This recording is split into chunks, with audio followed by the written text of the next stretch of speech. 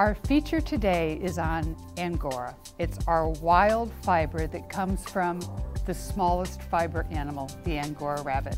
And there are lots of different types of Angora rabbits, but what I think is unusual is that we really have the monks, particularly the French monks, to thank for domesticating the rabbit back in 600 AD.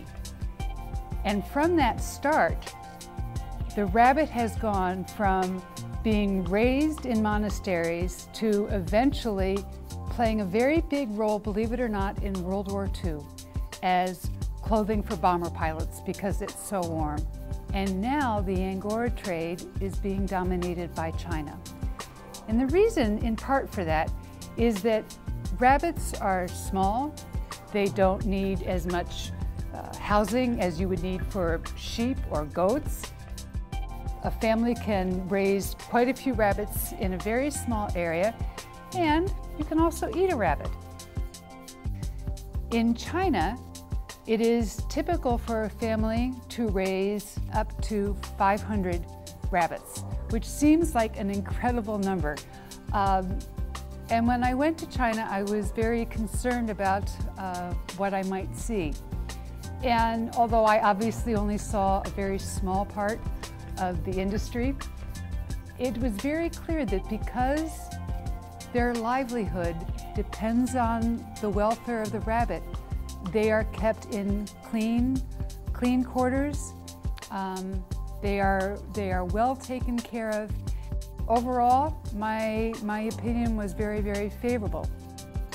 So the question is, what do we use Angora fiber for now? And it has always been um, a very fuzzy fiber. It's very warm and you probably don't want anything that's made out of 100% Angora. It would just be so, it would be too, too warm.